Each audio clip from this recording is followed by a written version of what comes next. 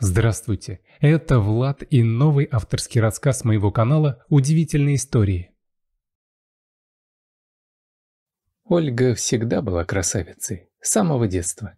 Мальчишки дрались между собой за право носить ее портфель, а девчонки тихонько завидовали красивому личику и стройной фигурке.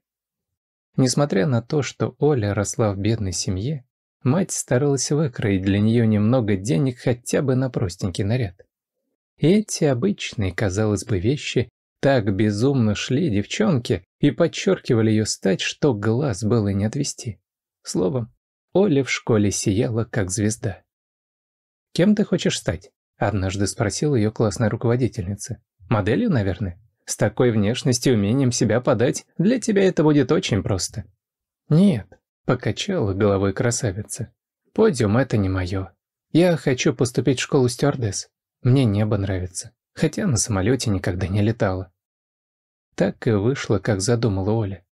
Поехала в столицу и с легкостью поступила в школу стюардесс. Но для этого семье пришлось продать старенькую дачу и отцовский москвич. «А как же вы теперь без машины-то?» – волновалась Ольга. «Эх, нет дачи-то и машину держать смысла нет. А на работу и на автобусе добраться можно», – махнул рукой отец. «Главное, не подведи». Человеком стань. И Оля не подвела. Экономила на всем, чем можно. Снимала комнатушку на окраине, скромно питалась и отказывалась от развлечений все ради возможности стать лучше на курсе. Оля брала уроки английского языка, не жалея своих скромных заработков официантки в кафешке. Мало того, вечерами она мыла посуду в ресторане, чтобы заработать лишнюю копеечку. Среди своих сокурсниц она выглядела более чем скромно. В своей простенькой одежде и аккуратно убранными волосами, нетронутыми краской и дерзкой рукой стилиста. Однако педагоги видели в ней огромный потенциал.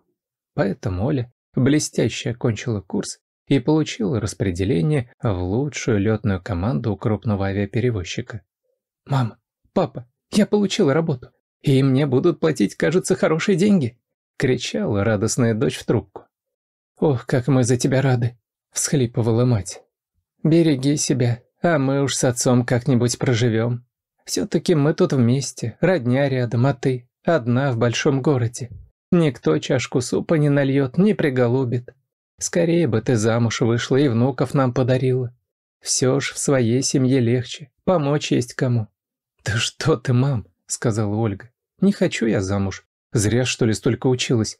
Вот построю карьеру, заработаю деньги, тогда и посмотрим. Так что я, босса и беременная, на кухне стоять не хочу. К тому же, после беременности легко потерять форму, а восстановить очень сложно. Ох, ладно, доченька, ты, пожалуйста, уж не тяни, а? Мы ведь с отцом не вечные, вздохнула мама. С того разговора прошло почти десять лет. Отца не стало, так и не дождался внуков. А семьи у Ольги так и не появилось. То времени не хватало, то подходящего мужчины не было. Сегодня вечером предстоял тяжелый рейс на север страны. Поэтому она собрала чемодан с теплыми вещами, надела новенькую с иголочки форму, взяла маленькую сумочку, которую носила с собой во время поездок, и отправилась на остановку. Оля не хотела отдавать бешеную сумму за такси, так как считала, что это бессмысленная трата денег. Тем более, что она снимала квартиру неподалеку от аэропорта. Знакомые считали ее скрягой. Думали, что ей грех жаловаться на зарплату, но мало кто знал, что Оля копила средства на первый взнос по ипотеке. Вот и на этот раз. Проехав несколько остановок в полупустом автобусе, она не спеша направилась к терминалу. «Привет, Оль», — сказал охранник Петр, давно засматривавшийся на красавицу-стюардессу. «Ты сегодня раньше всех. Давай пропуск и проходи в зал для персонала. Сегодня там кофе и печеньки». «Здравствуй, Петь. Как настроение?» Ответила Ольга, машинально нащупывая сумочку. Но с ужасом обнаружила, что сумочки нет. В приступе паники стала шарить по карманам чемодана, прекрасно понимая, что ни за что бы ее туда не положила. Охранник догадался, что произошло что-то нехорошее. Он еще никогда не видел Ольгу такой растерянной. «Ты чего? Такой вид, будто ты миллион потеряла», – забеспокоился Петр. «Так и есть. Потеряла». Чуть не плача, сказала Оля. «В сумочке моей дорожной нет, а в ней паспорт и пропуск и банковские карты лежали. Боже мой, телефон тоже. Вся моя жизнь». «Ну, вспоминай, где последний раз ее открывала?» Решил помочь охранник наводящими вопросами. «Может, в такси забыла? Тогда проблем нет, звони оператору, и тебе все вернут. Я как-то раз забыл маленького племянника, так вот, но Ольге некогда было слушать истории про племянников, и она воскликнула, перебив Петра. «Да вот именно, что я в автобусе ехала, а сейчас пиши пропала. Уплыла моя сумочка». «Да, жаль», – развел руками охранник. «Но пустить тебя без пропуска я не могу, извини. Тут камера везде. Заметят нарушение и уволят меня, а у меня такой кредит». Оля схватилась за голову. Пропуск рейса грозил ей выговором занесения в личное дело. А это значит, прощая мечта о международных рейсах, ради которых она и работала как вол, не считаясь личным временем. Оля села в зале ожидания и думала, что бы такого сказать своему начальнику, чтобы избежать наказания. Он был человеком строгим, но все-таки справедливым. Но, как назло, ничего не шло в голову. Оля закрыла лицо руками, чтобы остановить истерику и сосредоточиться. «Теть, не плачь, возьми сумку». Мальчишка лет восьми, похожий на бродягу, стоял перед ней и протягивал ее сумочку. Ольга застыла и с удивлением посмотрела на маленького ангела, который каким-то чудом спасал сейчас ее карьеру, висящую на волоске. «Спасибо. Малыша, откуда она у тебя?» Ты понимаешь, что сейчас меня очень выручил?» Ольга зарыдала от счастья. «Да не плачь, я же отдал тебе сумку», – удивился мальчишка. «Странная это какая-то. Вот когда мне что-нибудь дают, я радуюсь. Ты-ты чего плачешь? Это Сашка твою сумку своровал и велел мне помалкивать, не то побьет меня». «Как это? Побьет? А как тебя зовут? Э, где ты живешь?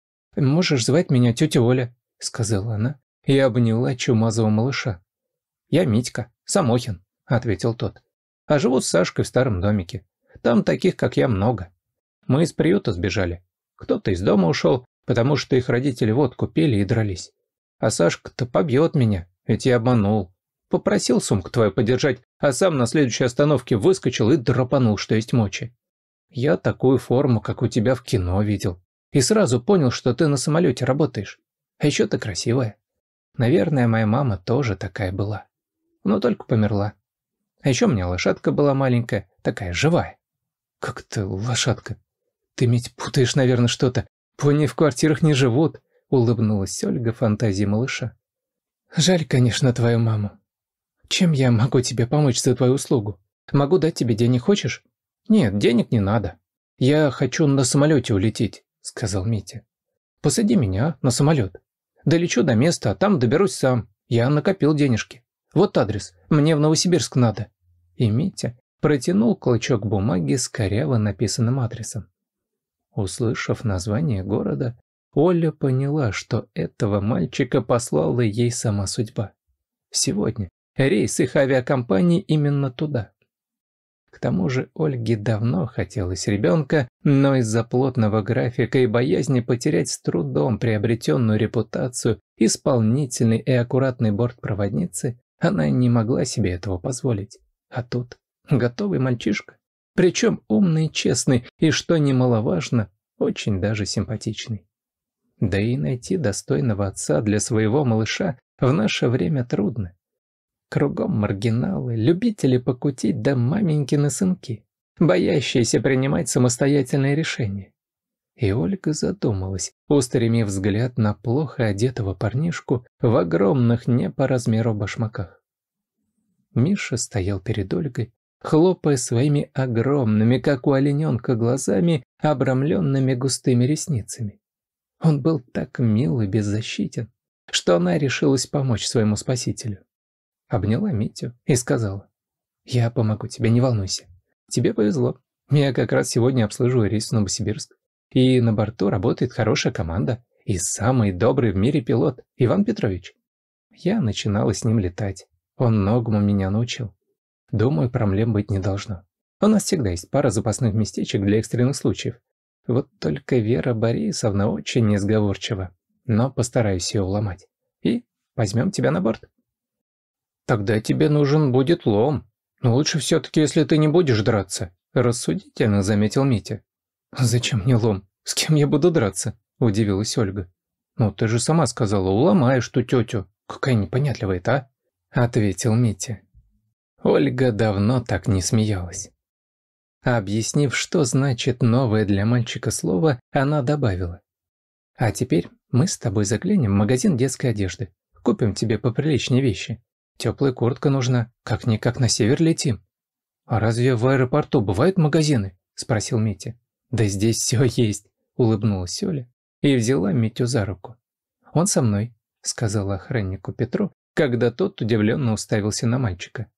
И Митя попал туда, куда и не мечтал добраться, вглубь огромного, недосягаемого для маленького бродяги аэропорта.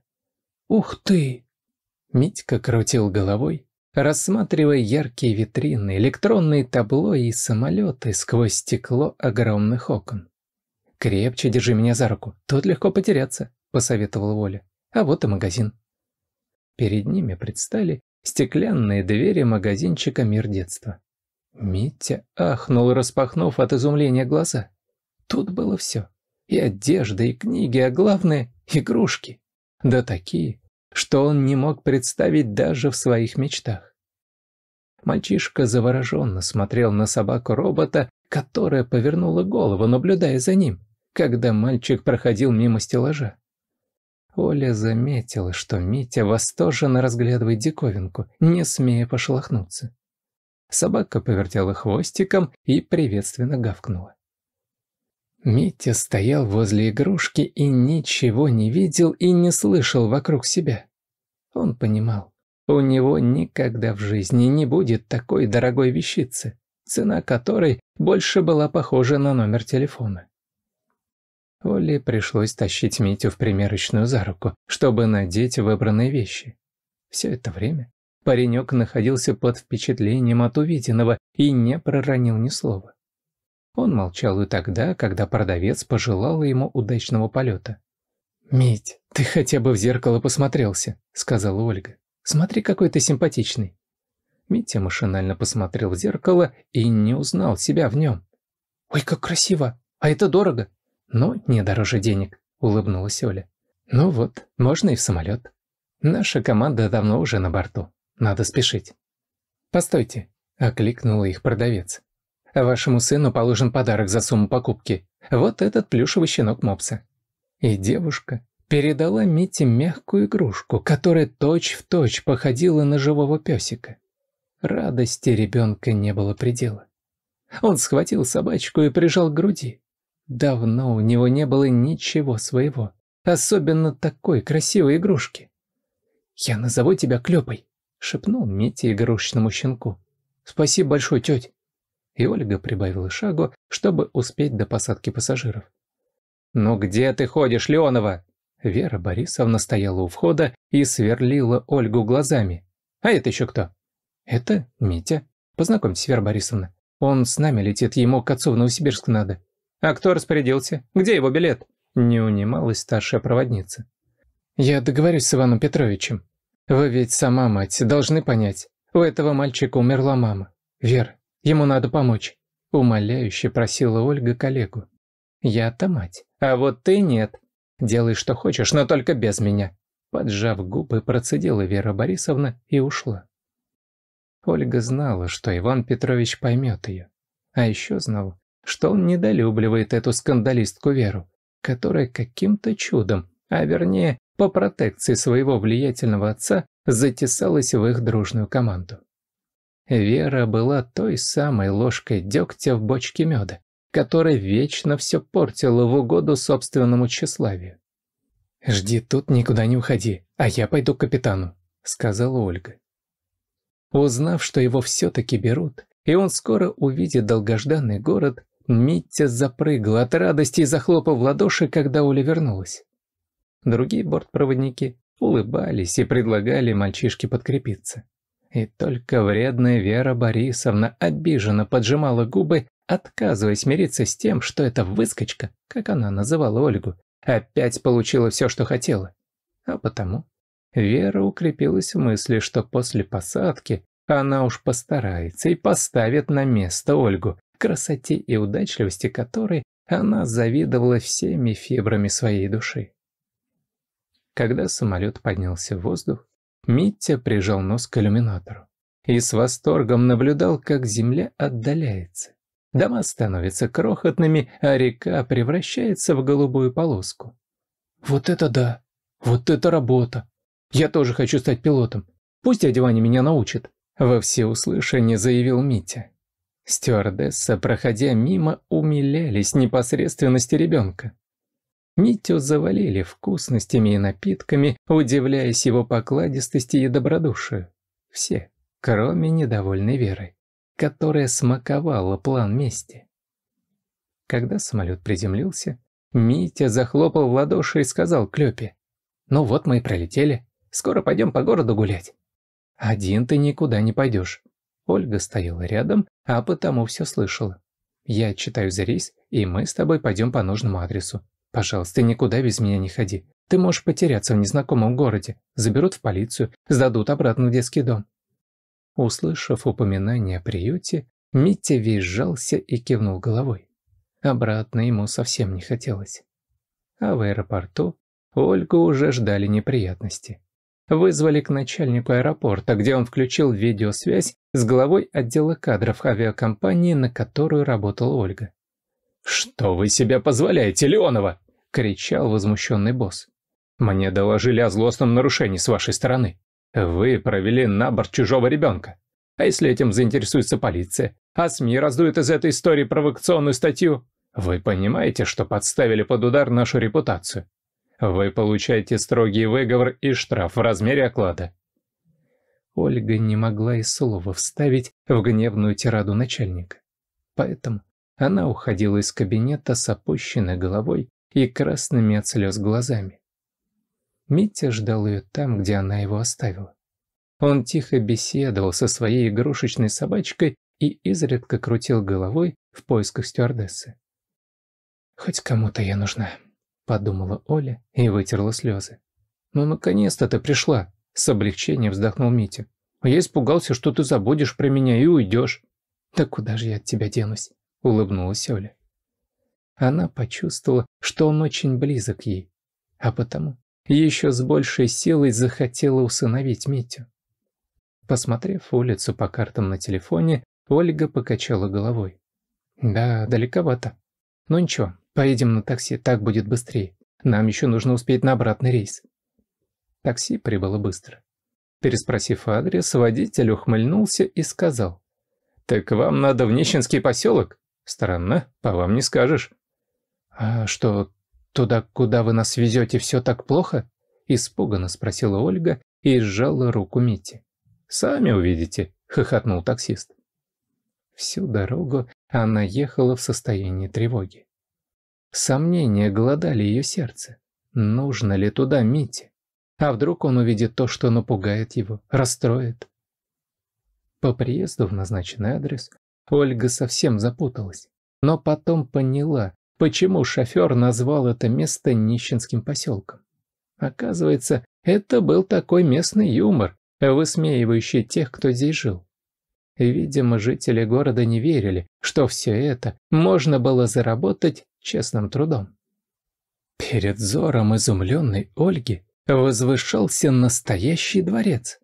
Не хватало только стражи у ворот с огромными мечами, хотя и в этом она уже сомневалась. А вдруг они притаились где-нибудь поодаль? И была права. Только подошли к воротам поближе, как открылось оконце, и грубый мужской голос спросил. «Вы кто? Чего надо?» «Я Митя Самохин. Я приехал к папе. Скажите ему, его зовут Рыжов Александр Леонидович». Услышав, кому направлялся мальчик все это время, Ольга была в шоке. Она не верила своим ушам. «Мить, а ты почему сразу не сказал, что к папе летишь? Ты вообще уверен, что это тот самый адрес? Может, ошибка? Они ведь сейчас полицию вызовут, а я не могу так рисковать работой. Мне и без этого сегодня влетело. Да, он тут живет. Мне ребята в интернете посмотрели. И никуда я отсюда не пойду. Я к папе хочу, но неужели непонятно? Может, он больше не злится на меня и возьмет обратно? Наверное, я плохо себя вел, раз он отвел меня в приют и оставил там. А вдруг он искал меня и не смог найти, а сейчас увидит и обрадуется? Ольга схватилась за голову. Она понимала, что от ребенка в свое время явно избавились. И сейчас ему снова сделают больно, потому что со стопроцентной уверенностью она считала, что никто Митю не искал и не собирался этого делать. Мальчишка стоял у ворот и дрожал от волнения, как осиновый лист. Ожидание тяготило. Пять минут показались вечностью. Наконец, ворота открылись, и к Митте с Олей вышел мужчина средних лет. Он явно был недоволен. Увидев паренька, лицо мужчины исказило злоба. «Митька, что тебе тут надо, а? В Москве плохо живется. Вот исполнится тебе восемнадцать, вернешься в свою квартиру. Опека за тобою закрепила, так что без крыши над головой тебя мать не оставила. Ну и я, конечно». «Пап, я ведь хороший, совсем почти не хулиганю. Воспитатели говорят, что я золотой мальчик. Возьми меня к себе, папочка, я буду слушаться. Забери, пожалуйста». Митя ревел на взрыд. А сердце Ольги разрывалось от боли. Она испытывала двоякое чувство. Безграничную любовь к Мите и ненависть к лоснящемуся от богатства Рыжову, который даже не спросил, голоден ли его маленький сын. «Не реви!» – прикрикнул на ребенка бизнесмен. «Кто тебя просил сюда тащиться? Ты мне не нужен. Уходи и свидетельницу свою забери. Ишь, шантажист какой. Нашел дурака». «Так как ты смеешь?» – воскликнула Ольга. «Никто тебя не собирался шантажировать, больно надо. Ребенок искал отца, а нашел негодяя, живущего в роскоши, пока сын голодает и скитается по улицам. С таким наглым лицом тебе и не во дворцах жить надо, а на лесоповале. И еще надо разобраться, откуда у тебя такие деньги. Куда налоговая вообще смотрит? Почему к простым людям цепляются, а на миллиардеров глядит сквозь пальцы? Отгородился от людей трехметровым забором. Стыдно, что ли? Рыжов от слов Ольги побагровел. Выпучил глаза и стал хватать воздух ртом, пытаясь справиться с яростью. «А ну, пошли отсюда, нищеброды! Нашлись мне родственнички. Нет у меня сына, нет. Отказался я от него. И ничего я не должен. Если попробуете еще прийти, попрошайки, я на вас собак натравлю. И Рыжов, громко ругаясь, захлопнул ворота прямо перед носом Мити, который в недоумении оглянулся на Олю. Она поняла его безо всяких слов. По лицу мальчишки градом полились слезы. Ребенок горевал. Ведь на его глазах отец отрекся от него раз и навсегда. Митя растирал кулачками мокрые щеки и никак не мог успокоиться. Оле тоже хотелось плакать от жалости и от обиды за Митю, но она с трудом сдерживалась. «Пойдем отсюда, мой хороший». Ольга присела и посмотрела Мите в глаза. «Хочешь пожить у меня? Ко мне в гости мама должна приехать. Давай ты будешь моим сыном. Я давно мечтала о таком мальчике, как ты. А еще у тебя будет бабушка. Ты будешь моей мамой? Навсегда? И не сдашь приют? Всхлипывая, спросил Митя, округлив от удивления глаза. Конечно. Знаешь, как весело мы с тобой заживем? Радостно воскликнула Ольга. Я согласен. Я очень хочу быть сыном, а еще у меня никогда не было бабушки. И Митя, успокоившись, взял свою новоиспеченную маму за руку и бодро зашагал по мостовой. Когда они летели обратно в Москву, то много говорили. Оля сразу сообщила коллегам, что решила стать мамой восьмилетнему Мите, отчего они пришли в восторг и поздравили их обоих. Молчала лишь Вера Борисовна. И не только потому, что вся команда объявила ей бойкот, узнав о предательстве в отношении Оли, но и от того, что ей никогда не была близка чужая радость. Зависть и злость были вечными спутниками Веры. Другие бортпроводники взяли на себя часть обязанностей Оли, чтобы она смогла почаще бывать сыном, который везде ходил за ней как хвостик. «А хочешь, я скажу тебе правду?» – спросил Митя. «Конечно». Оля погладила его по голове. На самом деле я знаю, почему папа сдал меня в приют. Это обсуждали воспитатели, а я все слышал», — сказал мальчишка. И на глазах у него блеснули слезы. «Моя мама была богатой. И когда она умерла, то папа просто избавился от меня, чтобы не делиться со мной. И мне досталась только старенькая маленькая квартира. И то только потому, что ребенок-сирота должен потом где-то жить, когда выйдет из приюта. А остальное забрал отец. Я думал, он соскучился по мне и боится попросить прощения за то, что предал меня. Вот я и решил сам к нему съездить. Почему он меня ненавидит? Ну что я ему сделал? Митя грустно смотрел на Ольгу, словно ища поддержки. «Честно, я не знаю», — призналась она. «Люди разные, бывают добрые и не очень. Но скажу тебе только одно. Я так с тобой не поступлю. Никогда не брошу. Завтра же пойдем в детский дом и скажем, что ты будешь жить у меня. Думаю, они уступят нам. Ведь это лучше, чем бродить по городу в плохой компании. Я согласен. Кивнул головой мальчишка и обнял плюшевую клёпу. По возвращении самолета всю команду отпустили на выходные. Коллеги, прощаясь с Митей, звали его в гости, чему мальчуган был очень рад, а Оля была благодарна товарищам за поддержку. «Ну что, домой?» — весело сказала она, глядя на Митю. «Домой», — эхом отозвался мальчишка и улыбнулся. Ему все еще не верилось, что он обрел семью. Ольга снимала просторную квартиру с видом на парк. Рядом была оборудована современная детская площадка, чему мальчишка был несказанно рад. Еще больше восторг у него вызвал лифт. Ольге пришлось оттаскивать его от кнопок, иначе они бы так и катались туда-сюда между этажами. Дверь открыла Нина Степановна, мама. Увидев незнакомого паренька, она очень удивилась, но так как была интеллигентной женщиной, виду не подала. «Здравствуй, бабушка», Выдал счастливый Митя, на что Нина Степановна вопросительно посмотрела на дочь. «Мам, знакомься, твой внук Митя», — сказала она. «Я вчера нашла его в аэропорту, точнее, это он меня нашел и спас от увольнения. Но это долгая история, потом расскажу». Нина Степановна замерла от неожиданности, а потом медленно села на пуфик в прихожей. Митька стоял и не знал, как быть. То ли огорчаться, то ли радоваться но волноваться ему не пришлось. Нина Степановна вдруг обняла худенького мальчишку и с легкостью взяла его на руки. «Как же я тебя ждала!» Новоиспеченная бабушка не могла сдержать слез. Она понимала, что перед ней ребенок с тяжелой судьбой. Скорее всего, сирота. «Прямо обо мне мечтала?» – удивленно спросил он. «Ну, конечно», – улыбнулась Нина Степановна и в уголках ее глаз образовались морщинки-лучики. Какие бывают лишь только у добрых людей. «Ой, бабушка, тебе ж тяжело, я большой!» – спохватился Митя, обняв пожилую женщину за шею. «Да ничего, своя ноша не тянет», – ответила Нина Степановна и крепко прижала его к груди. Ольга стояла, прислонившись к дверному косяку, и только сейчас поняла, как сильно устала.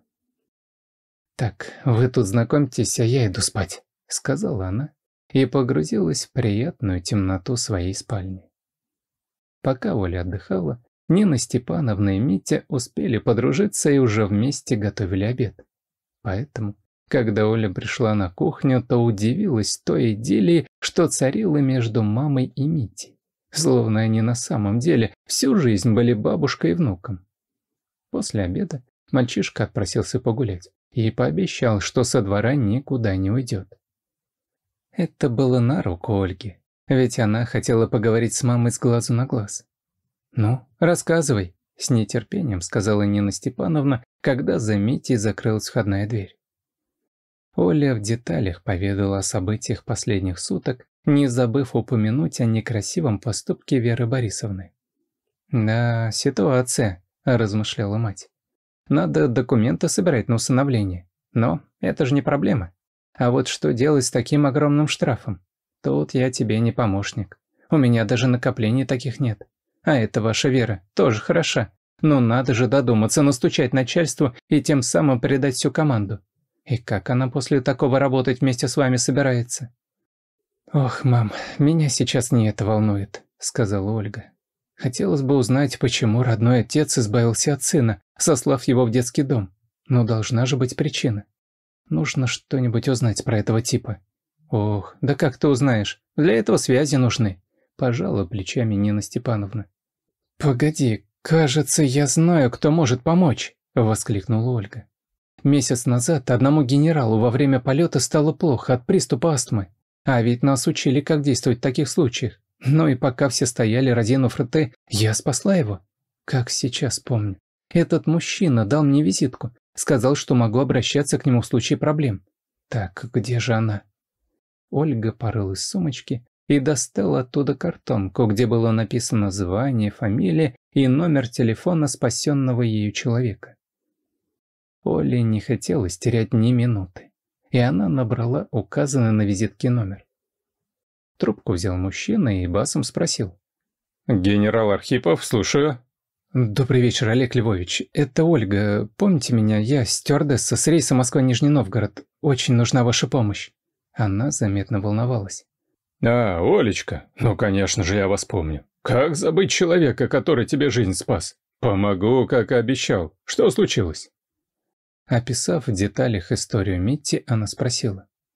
«Можно как-то подробнее узнать, кто такой этот Александр Рыжов? И почему он упорно отказывается от своего ребенка, хотя имеет материальную возможность, такую, которая другим и не снилась? Хотелось бы узнать его мотивы». «Я услышал. Как все разузнаю, сообщу. Да, история запутанная». «Спасибо». Она была рада, что на ее стороне оказался такой могущественный союзник. Когда Митти вернулся с прогулки, Олли была в хорошем настроении. Они поужинали втроем, и Митя напросился мыть посуду. «Разве тебе это интересно?» – удивилась Нина Степановна. «Ты же еще ребенок, которому нужно играть, немного шалить, но никак не на кухне с бабушкой сидеть». «Знаешь, бабуль, а я ведь никогда посуду не мыл», – резонно заявил Митя. «Повара в приюте нам не давали в воде возиться, говорили, что им некогда за нами следить. А где еще-то научиться? А действительно, где? Призадумалась Нина Степановна. А потом говорим, молодежь у нас плохая. Хорошая у нас молодежь. Так, внучок, идем, я сейчас тебя всему научу. Пока довольный Митя и радостная бабушка возились на кухне, Ольга достала портфель с документами и начала отбирать нужный, чтобы подать в отдел опеки. Вдруг раздался телефонный звонок. Ольга подумала, что это новости об отце Мити. «Олег Львович, как дела?» – воскликнула Ольга, но радость ее моментально исчезла, когда она услышала, кто говорит. А говорили явно через платок, до неузнаваемости изменив голос. «Плохи твои дела. Отстань от пацана. Верни его в детдом, иначе пожалеешь», – хрипел мужчина, а потом быстро положил трубку. «Кто это говорит?» Ольга стояла как громом пораженная. Еще никогда в жизни ей так не угрожали. Это ее разозлило. И она лишь укрепилась в желании усыновить Митю как можно скорее. Она решила никому не рассказывать об угрозе, боясь травмировать Митю и маму. «Митенька, без меня никуда не выходи», — сказала Ольга. «Завтра с тобой пойдем в детдом договариваться об усыновлении». «Ура!» Воскликнул Митя и прижался лицом к фартуку Нины Степановны. Мальчишка плакал, но в этот раз от счастья. Не вытерпела душа и у Нины Степановны. Новоиспеченная бабушка тоже залилась слезами. «Да ладно вам реветь!» — с улыбкой сказала Ольга. «А то еще пирожки свои пересолите. Давайте-ка чай пить». Оля старалась забыть жуткий разговор и переключилась на общение с родными. Час был поздний, а потому наступила пора ложиться спать. Мите выделили собственную комнату, отчего мальчишка был в полном восторге. На следующее утро Ольгу разбудил не будильник, а голос Мити. «Тетель, вставай! Пойдем в приют меня усыновлять!» «Так сейчас еще пять утра!» — спросонья ответила она. «Там кроме няни и сторожа никого из взрослых и нет. Давай поспим еще пару часиков и будем собираться. И можешь звать меня мама, если что. Я пока не могу, вздохнул Митя. Ну ладно, спи, сказала Ольга и повернулась на другой бок. Она уснула и не заметила, как Митя прилег рядом и свернулся калачиком. Он не мог называть ее мамой, но давал понять, что любит ее. Через пару часов Нина Степановна их так и нашла, спящими под одним одеялом с игрушечным песиком посередине. Картина была настолько умилительна, что не хотелось будить. Зато это сделал безжалостный будильник. После вкусного завтрака и быстрых сборов Митя и Оля отправились в приют. Ребята, увидев товарища, облепили его и рассматривали его новые вещи и клепу, которого предусмотрительный мальчишка не выпускал из рук. А Оля направилась в кабинет директора. Им оказался пожилой мужчина с добрым лицом. Выслушав доводы, он улыбнулся. «Да не волнуйтесь вы так, Ольга Дмитриевна. Я не против, чтобы Митя у вас пожил до усыновления. И не подумайте, что я хочу побыстрее от него избавиться. Просто так будет для него лучше. Пусть окунется в домашнюю среду. А с моей стороны обещаю полное содействие. Это и в моих интересах, чтобы наши воспитанники обрели счастье. Спасибо, Людвиг Аскольдович. Не ожидала, если честно, что все будет так, по-душевному. Пойду сообщу ваше решение Мите. Он переживает. И Ольга выпорхнула в коридор на крыльях счастья, готовая расцеловать весь мир. Митя сразу все понял по ее довольному виду и улыбнулся. Он посмотрел на своего клепу, о чем-то задумался и отдал любимца новенькому мальчику, грустно глядящему в окно. «Возьми собачку, это Клёпа. Он мне очень помог, и тебе поможет».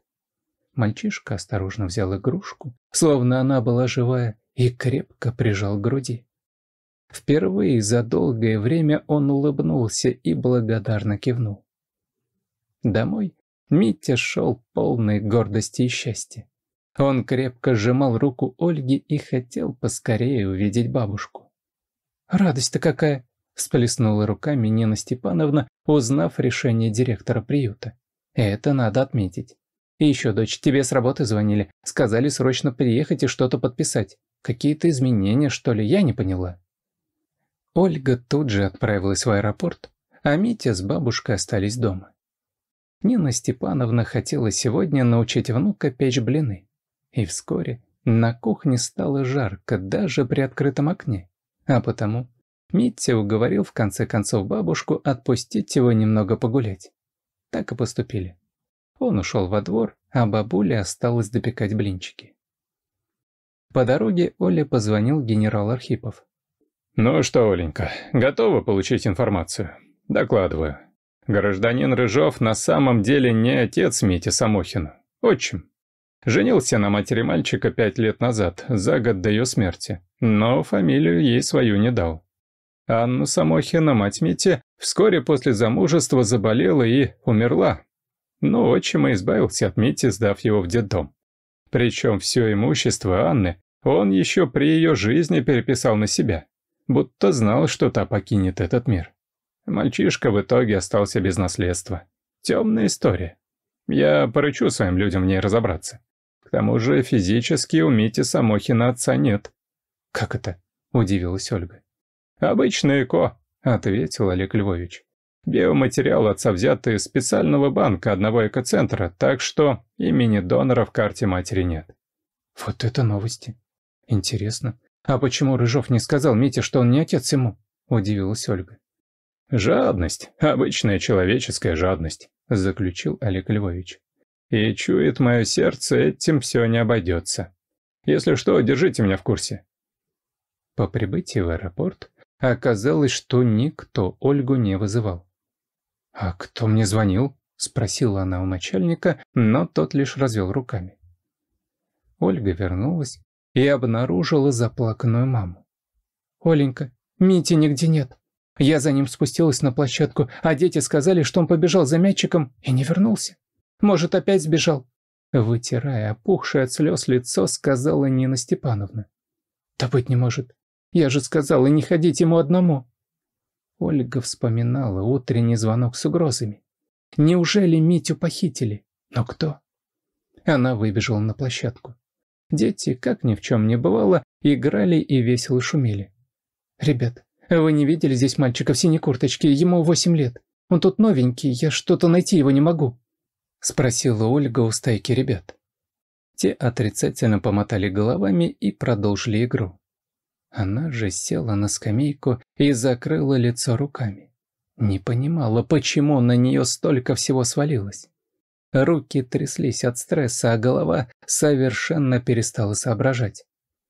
«Тетенька, а вы Митю ищете?»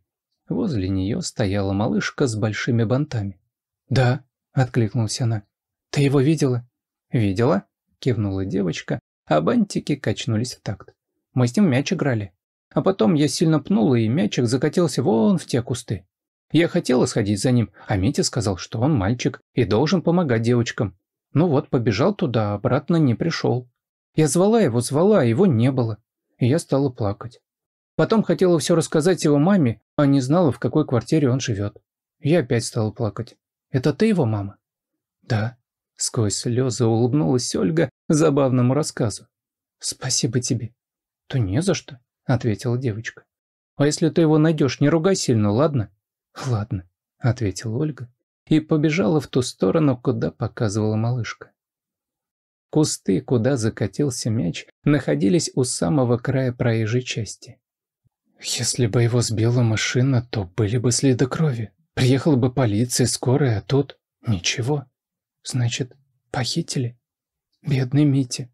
Подумала Ольга и снова набрала номер генерала Архипова. Ожидание было утомительным. И чтобы не сойти с ума от паники, она вернулась домой. В квартире пахло валерьянкой, а Нина Степановна сидела на диване с компрессом на лбу. «Ох, доченька, как же я виновата! Не послушалась тебя, вот и поели блинчиков. А Митенька и так их хотел и Нина Степановна снова залилась слезами. Оля испугалась за состояние мамы и через силу улыбнулась, чтобы хоть как-то успокоить ее. «Не плачь, Митю уже ищет. Нам помогает один мой знакомый. Давай свои блинчики, зря что ли у плиты стояла». Хотя у Оли не было аппетита, она заставила себя поесть ради мамы. Нина Степановна немного оживилась и успокоилась после слов дочери. Вечером позвонил Олег Львович. Оля бросилась к трубке. «Оказывается, Рыжов уже в Москве. Это выяснили мои сотрудники. Полиция проводит обыск в доме, где раньше жил Митя с матерью и отчимом. Я уже выслал за тобой машину, ты нам нужна. Сейчас я нахожусь на месте, идет допрос Рыжова. Ловко уворачивается от ответов. Говорит, что не видел мальчишку четыре года. Нужно прижать его к стенке, он что-то явно не договаривает. «Спасибо, я приеду», Воскликнула Ольга и начала собираться. Она чувствовала, что наконец-то все должно разрешиться от тайн, которыми покрыта судьба ее приемного сына. Вскоре за ней приехала машина, и уже через полчаса они были на месте. Дом, где раньше жил маленький Митя со своей мамой, отличался роскошью. Это было здание, стилизованное под замок. У Оли замерло сердце от вида миниатюрных башенок и высокого кованого забора. Возле ворот стояло несколько полицейских машин. Олег Львович вышел встречать ее и предупредил. «Держите себя в руках, когда увидите Рыжова. Если вы будете нервничать, то все дело можно провалить». «Хорошо», — пообещала она. Как оказалось, предупредили ее не зря. При виде Александра, вальяжно расположившегося на парчевом диване, злость вскипела в ее груди. Но, увидев предостерегающий взгляд генерала, она попыталась успокоиться. Увидев Ольгу, занервничал Рыжов. Он покраснел и сделал вид, что не знает ее. «Вы узнаете этого мужчину?» – спросил следователь Ольги. «Да, это отчим Мити, моего будущего приемного сына. Я оформляю документы на усыновление, а пока мальчик живет со мной», — пояснила она. «Не знаю я ее. Первый раз вижу. И мальчишку не видел четыре года. Зачем мне чужой ребенок?» — не сдержался Рыжов. «Вот фото, где вы стоите вместе с Митей несколько дней назад у дома в Новосибирске». И Ольга показала снимок на телефоне. «Когда успела? Кто тебе вообще давал разрешение на съемку?» – орал Рыжов. «Где мальчик?» – грозно спросил генерал. «Да нет у меня никакого пацана!» – орал Рыжов. «Товарищ генерал», – обратился к Архипову один из полицейских. Мы обыскали все от комнат до подвала. Ребенка здесь нет?» От этих слов у Ольги душа ушла в пятки. Жив ли ее малыш, который встал на пути богача-преступника?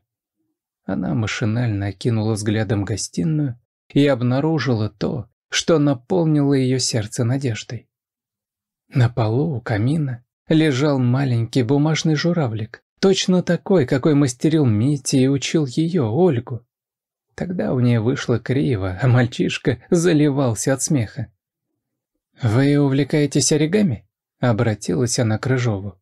«Чё мне, делать нечего, как бумажки складывать?» — фыркнул он. «А еще здесь кто-нибудь живет, кто может этим увлекаться?» — настаивала Ольга. «Нет тут больше никого. Что за дурацкие вопросы, дамочка?» — нервно хихикнул Рыжов. Олег Львович внимательно слушал их диалог и, кажется, понимал, к чему ведет Оля. Она подняла с пола журавлика и отдала в руки генералу. «Митя здесь. Он это делал, он меня этому учил». Когда Олег Львович развернул бумагу, то увидел внутри детский рисунок и подпись «Митя С». Ольга окинула взглядом огромную гостиную. Вдруг ее внимание привлек стеллаж с книгами. Одна книга была выдвинута как раз на уровне глаз. Она подошла к полке, вставила книгу на свое место, и тут же что-то тихонько щелкнуло, а стеллаж отъехал от стены. За ним была дверь с массивной ручкой. Ольга нажала на нее, и дверь без скрипа распахнулась. А там была маленькая, тускло освещаемая комната, набитая пластиковыми чемоданами и железными ящичками. Среди этого барахла на диванной подушке сидел заплаканный Митя. Увидев Олю, он еще больше расплакался. «Мама, мамочка, ты меня нашла!» Ольга схватила его на руки, а он так вцепился в нее ручонками, словно сейчас его будут отбирать. Эту душераздирающую картину наблюдала вся опергруппа. Видавшие виды взрослые мужчины отворачивались, скрывая слезы. Олег Львович похлопал Митю по плечу. «Молодец».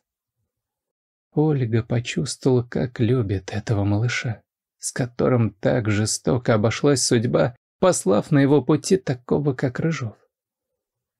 Когда полицейские обыскали тайную комнату, то обнаружили множество ценных бумаг, наличные деньги и драгоценности. А самое главное – завещание на имя Мити Самохина, написанное его матерью перед кончиной. В нем говорилось, что все наследство переходит ее сыну, а пока тот не достигнет совершеннолетия, управлять имуществом Мити будет его опекун. Кроме того, там же был найден пузырек с непонятным веществом. Экспресс-экспертиза определила в нем сильнодействующий яд, который быстро разлагается в теле жертвы. «Александр Леонидович Рыжов», — сказал Олег Львович, самолично заковывая подлеца в наручники. «Вы обвиняетесь в краже ребенка, присвоении чужого имущества и преднамеренном убийстве вашей жены, Анны Самохиной». Тот словно язык проглотил от шока. Он не ожидал, что его грязные делишки так быстро раскроют. Ему грозил большой тюремный срок. «Спасибо, Олег Львович», — сказала Ольга. «Вы нас спасли». «Работа у нас такая», — улыбнулся генерал. «Несешь в кабинете штаны протирать. Вас отвезут домой. Наверное, бабушка места себе не находит». Когда Митя и Ольга вернулись, Нина Степановна была вне себя от счастья. Она обнимала, целовала внука, заодно проверяя, цел ли он, не ушибся ли. «Бабуль, я в порядке, только кушать хочется», — смеялся Митя. «Ой, да что же это я?» — воскликнула Нина Степановна, и на столе тут же появились блины, суп и котлеты с картофельным пюре. Только сейчас и Оля поняла, как голодна. Все принялись за еду, а потом еще долго разговаривали и счастливее этой семьи, казалось, не было на всем свете. На следующий день Ольга пошла к адвокату, которого ей посоветовал Олег Львович. Тот взял необходимые документы и принялся за оформление усыновления. Ждать долго не пришлось. Тем более, что директор приюта Людвиг Аскольдович принимал в этом процессе самое непосредственное участие. И вот суд постановил, что Ольга теперь по праву мать Мити Самохина.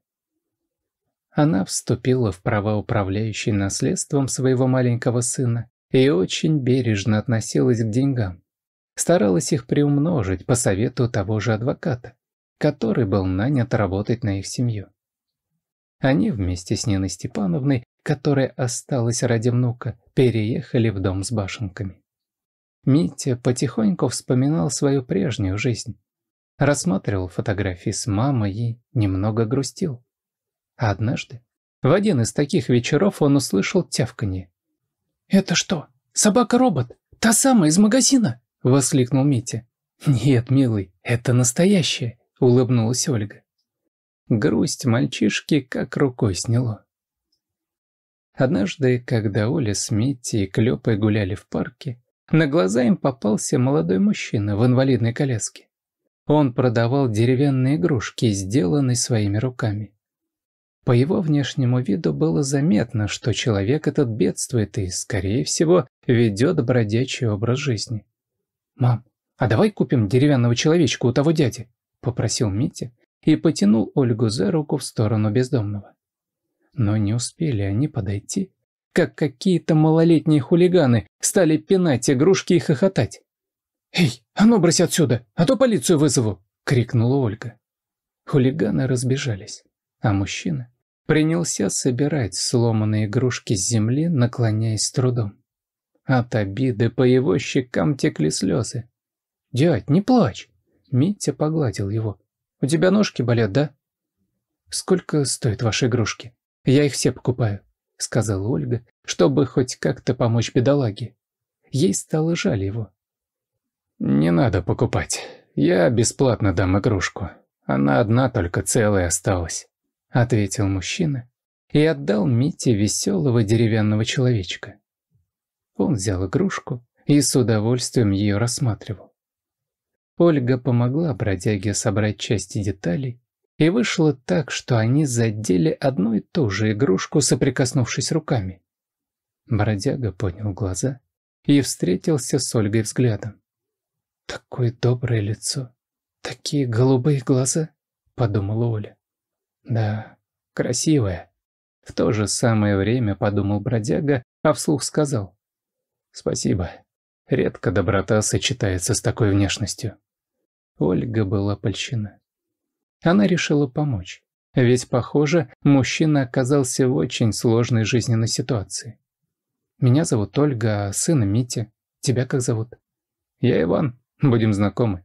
Может, пройдемся? Ну, то есть вы пройдетесь, а я прокачусь», — засмеялся он. «Давай», — согласилась Ольга. «А давно ты так? Ну, извини, что спрашиваю». «Да ничего», — ответил Иван.